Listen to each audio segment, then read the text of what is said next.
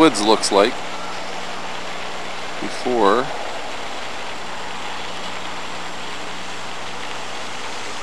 all of the earth clearing goes uh, takes place.